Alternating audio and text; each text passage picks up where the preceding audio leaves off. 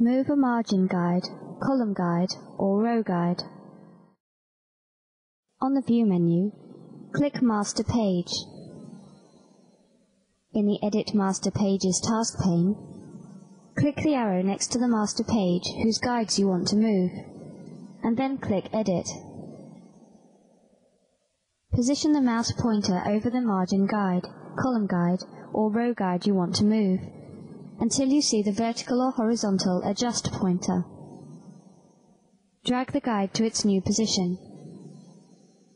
To return to your publication page, click Master Page on the View menu.